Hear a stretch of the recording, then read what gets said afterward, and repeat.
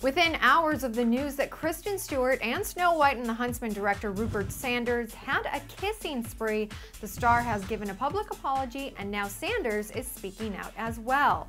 Not that cheating is okay in my book. We do need to give credit to all parties for being honest about the situation.